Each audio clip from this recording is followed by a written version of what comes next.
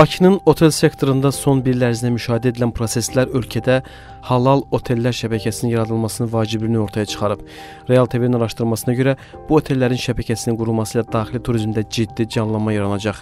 Həmçinin vətəndaşların qohum evində qonaq qalmaq alışqanlığı üzündən koronavirusa yoluxma təhlükəsinin səviyyəsi xeyli aşağı düşəcək. Mütəxəssislər Bakıya iş və ya qohumları ilə görüşmək üçün gələn əyalət sakinlərinə bu cür təhlükədən uzaq durmaq üçün otellərdə qalmağı tövsiyə edirlər. Pandemiya dövründə Azərbaycanda mehmanxana sektoru heç zaman öz işini dayandırmayıb və qiymətlər də xeyli ucuzlaşıb. Həm də otelçilik sektoru təmsilçisi Nərgiz Əskərovanın Real TV-yə bildirdiyinə görə son 1 ildə otellərdə pandemiya təhlükəsinə qarşı ciddi tədbirlər görülüb.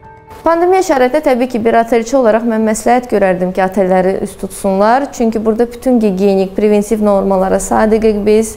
Yəni bu qızdırma ölçməklə bağlı spirt təşkil olunması və s. və axırı. Yəni burada yoluxmanın səviyyəsi qat-qat aşağıdır.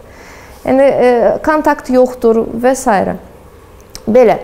Pandemiya ilə əlaqədar da təbii ki, bir qiymət enişi də olubdu. Bütün bütün otellərdə demək olar ki, bizim oteldə də həmçinin. Yəni burada səhər yeməyində bağlı çox adamlarda sual yaranır. Yəni təbii ki, biz İsveç bufetini ləğv etmişik. Yəni bu hamısı bağlı qablar da sırf insana görə hazırlanır. Yəni burada da bir yoluxma səbəb ola bilməz. Nərgiz Əskərovanın fikrincə, Bakıya qonaq gəlmiş əyalət sakini əgər təsadüfən koronavirusa yoluxarsa belə, o zaman oteldə olmağı daha məsləhətdir.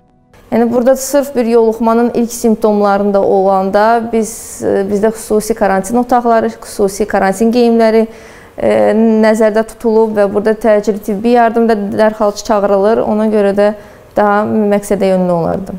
Lakin bununla belə Bakıda otel qiymətlərinin son 1 ildə 50%-dən çox ucuzlaşması, pandemiyadan öncə bir nəfərlik otağı 40 dollara təklif edən 4 ulduz otellərin qiyməti 40 manata salması belə vəziyyəti dəyişməyib. İş üçün paytaxt Bakıya gələn sıravi Azərbaycanlı 40 manat xərcləməklə yatmağa rahat otaq, gözəl vanna otağı və keyfiyyətli səhər yeməyi verən 4 ulduzlu oteldə qalmaqdan imtina edərək 50 manatlıq bazarlıq edib qohum evini üst tutur.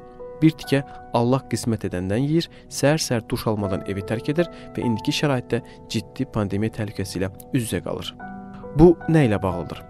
Real TV-nin Bakı otelçiləri arasında apardığı araşdırmadan aydın oldu ki, əhali arasında otellərdə qalmaqla bağlı ciddi stereotiplər mövcuddur və adətən otel dedikdə içkili əyləncə məkanı, gizli sevgi görüşləri təşkil edən yer, yaxud intim xidmət göstərən çox sayda qızın toplaşdığı məkan düşünülür.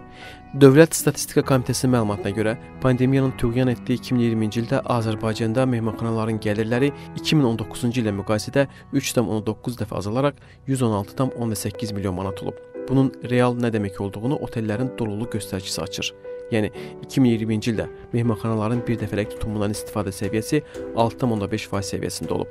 Bu o deməkdir ki, orta hesablı mehmanxanalarda 15 nömrədən biri dolu olub. 2019-cu ildə isə doluluq göstəricisi 22,1%-ə bərabər olub. Yəni 4 nömrədən biri dolu olub. Əslində pandemiyadan əvvəlki dövr üzrə göstəricini digər ölkələrin göstəriciləri ilə müqayisə apardıqda ölkədə pandemiyadan öncə də bu sahədə ciddi problemin olduğunu görmək olur. Azərbaycan otellərinin 2019-cu ildə nümayiş etdirdiyi 22,1%-ə doluluq göstəricisi çox aşağı rəqəmdir.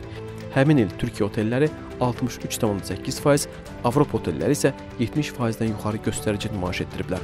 Məsələn, İrlandiyada otellərin dolma göstəricisi 76,1% olub. Statistika da onu göstərir ki, otellərin bu aşağı dolma göstəricisinin formalaşmasında belə xarici turistlərin rolu əsas olub. 2009-cu ilin statistikasına görə əcnəbilər və vətəndaşlığı olmayan şəxslər tərəfindən keçirilmiş gecələmələrin sayı ümumi gecələmələrin 67%-ni təşkil edir. Yəni ölkədə son illər sürətlə artan ulduzlu, ulduzsuz otellər, hostellər sıravi azərbaycanlıları cəlb edə bilmir və daxili turizm potensialına uyğun göstəricilər nümayiş etdirmir. Əslində bu məsələdə qonşu ölkələrin, o cümlədən qardaş Türkiyənin təcrübəsini öyrənmək daha məsləhətli olardı. Türkiyədə də içki və əyləncə təklif edən otellər çoxdur. Lakin Türkiyə əhalisinin yarıdan çoxunu təşkil edən mühafizəkar insanların çəkinmədən üst tutduqları otel şəbəkələri də var ki, insanlar həmin mehmanxana şəbəkələrini halal otel adlandırırlar. Türkiyədə ilk ixtisaslaşdırılmış halal otel şəbəkələri 2000-ci illərin əvvəllərində başlayıb və bu illər ərzində ölkədə yüzlərlə halal otel açılıb. Bu Türkiyədə daxili turizmə böyük dəstək verib. Halal turizm Türkiyədə orta qiymət səviyyəsində xidmət göstərir. Bu otellərin özəlliyi mətbəxində halal qidalardan istifadə edilməsi, alkoqolsuz içkilər, qadınlar üçün tam təhlükəsiz çimərlik və hovuzlar yaradılmasıdır. Otellər ciddi şəkildə qorunur və kənar şəxslərin nigahsız cütlüklərin onlara giriş etməsi qeyri-mümkündür. Bu özəlliklər mühafizəkar insanların həmin otellərə etibar etməsinə imkan yaradır.